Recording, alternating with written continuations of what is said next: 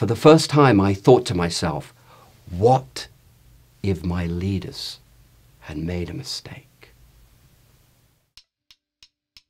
I came to America to chase the American dream, and it wasn't long before I started my own cosmetic business with my brother. And through a lot of hard work and effort, we brought some very new and innovative products into the cosmetic industry in the mass market. And it wasn't long before I began to experience the, the pleasures and the success of that. I was driving around town in a red Maserati. Um, I had model girlfriends. Um, and I was really sort of chasing that, that life, but it was really uh, a God that I was after. As a child, I was always looking to know God, and I was searching for Him all throughout my childhood. And, and I have to be honest, I couldn't find Him in the synagogue experience. I found it religious.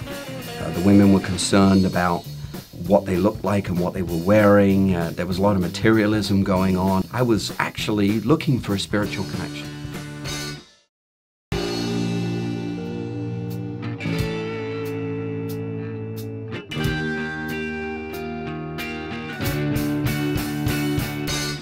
So I was beginning to experience the high life. Beautiful restaurants, a single lifestyle, money in my pocket, uh, driving a red Maserati, and in comes this beautiful girl named Maria, makeup artist I started to work with.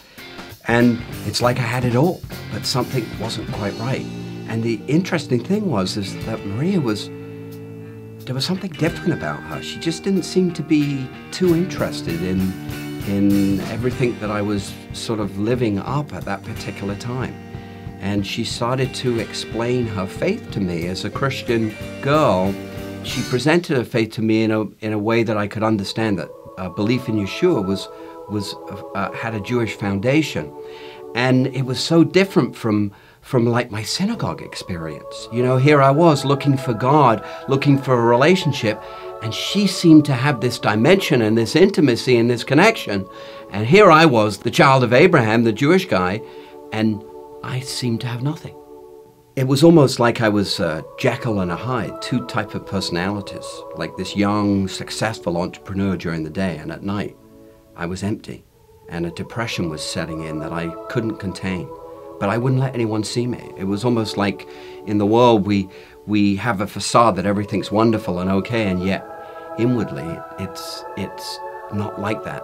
There was a, a depression and, and an emotional change that I was beginning to get in touch with, and definitely something was wrong. I think what was really different about Maria is that she had learned to bring the message of Yeshua back to Jewish people as if it was their very own we reviewed a lot of the in some of our discussions we we talked about all the terrible things that had happened to the Jewish people in the name of Christianity and how Christianity has been used. And she worked very hard in her communication to separate that stuff. Mainly most of the same time saying that most of those people really weren't believers in the first place. And she began to so she began to lay this foundation for me that the roots of Christianity were completely Jewish. And of course, you know, when I began to open the scripture and read for myself, I was overwhelmed. I was so surprised, okay, that I was actually reading a Jewish book. So I have to I have to tell you after, you know, experiencing this dimension that I knew Maria was experiencing between her and God, it began to really get my attention. And so it caused me to begin to go after, once again, a relationship with my own God.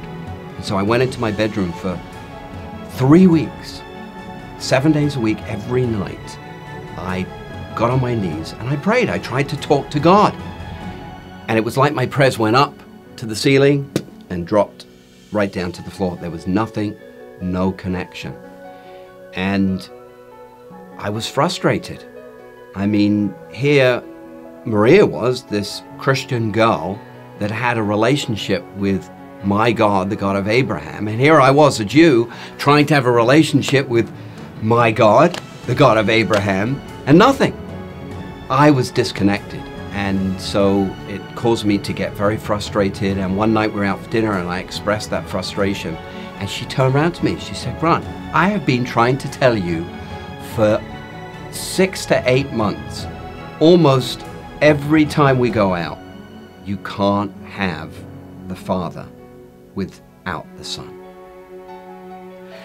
So immediately, I decided I've got to go upstairs. I go upstairs to my apartment and um, was not difficult for me with all my spiritual experiences to, to visualize this whole thing.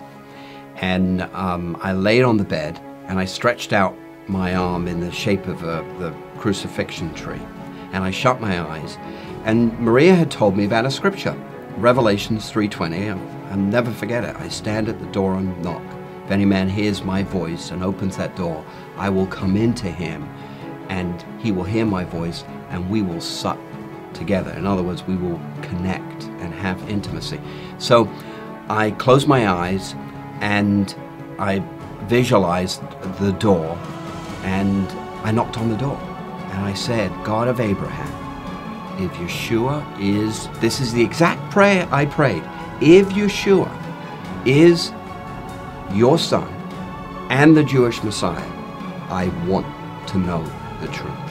Right at that moment, at that very second, a physical wind indwelt my stomach. I could, I could almost see it swooshing into me.